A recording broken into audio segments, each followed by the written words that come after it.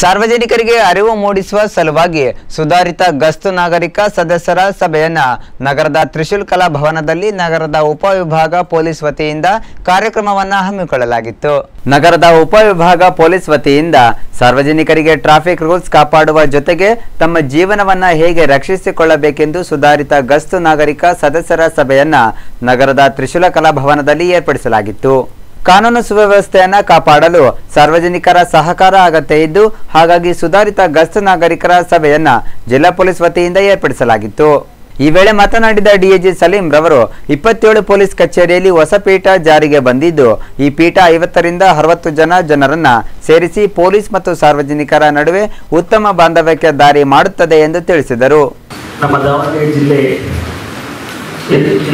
ಇಪ್ಪತ್ತೇಳು ಪೊಲೀಸ್ ಸ್ಟೇಷನ್ಗಳಲ್ಲಿ ಅವರು ಈ ಹೊಸ ಬೀಟ್ ಸಿಸ್ಟಮ್ ಏನಿದೆ, ಅದನ್ನು ಭಾಳ ಬೇಗ, ಅಂದರೆ ಮೂರು ಹಿಂದೆನೇ ಅದನ್ನು ಜಾರಿಗೆ ತಂದಿದ್ದಾರೆ. ಅದರ ಜೊತೆಗೆ ಪ್ರತಿಯೊಂದು ಬೀಟಲ್ಲಿ ಸುಮಾರು ಒಂದು ಮೂವತ್ತರಿಂದ ಐವತ್ತು ಜನ ಸದಸ್ಯರನ್ನು ಸೇರಿಸಿ ಸಾರ್ವಜನಿಕರ ಸಲಹಾ ಸಮಿತಿಯನ್ನು ಸಹ ಮಾಡಿ ಆದಷ್ಟು ಸಾರ್ವಜನಿಕರಿಗೆ ಮತ್ತು ಪೊಲೀಸ್ ಬಾಂಧವ್ಯ ಏನಿದೆ, ಅದನ್ನು ಉತ್ತಮಗೊಳಿಸಲು ಪ್ರಯತ್ನ ಮಾಡ್ತಾ ಇದ್ದಾರೆ. ಯಾಕಂದ್ರೆ ಜನರಿಗೆ ಗೊತ್ತಿದೆ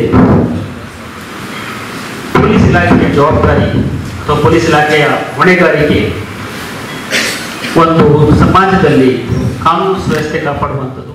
ಈ ಸಭೆಯಲ್ಲಿ ಎಸ್ಪಿ ಭೀಮಶಂಕರ್ ಗುಳೇದ್ ಹಾಗೂ ಡಿಐಜಿ ಸಲೀಂ, ಡಿವೈಎಸ್ಪಿ ಕುಮಾರ್ ಬಾಬು ಸೇರಿದಂತೆ ಸಾರ್ವಜನಿಕರು ಭಾಗವಹಿಸಿದ್ದರು.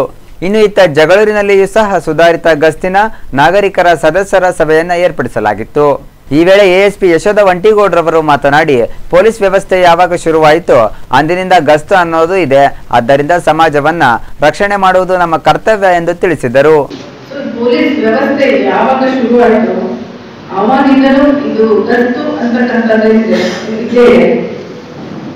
ರಕ್ಷಣಾ ಇಲಾಖೆ ಅಂತ ಹೇಳಿ ಇರೋದ್ರಿಂದ ಸಮಾಜದ ರಕ್ಷಣೆ ಮಾಡೋದು ನಮ್ಮ ಕರ್ತವ್ಯ ಈ ಸಂದರ್ಭದಲ್ಲಿ ಡಿವೈಎಸ್ಪಿ ಸಿಪಿಐ ಪಿಎಸ್ಐ ಸೇರಿದಂತೆ ಸಾರ್ವಜನಿಕರು ಹಾಜರಿದ್ದರು.